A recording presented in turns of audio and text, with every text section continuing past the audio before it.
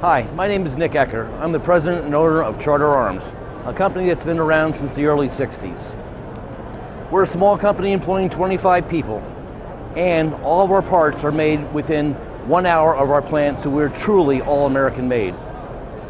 50 years ago, the concept of the undercover came up a small frame revolver with a hammer block safety system.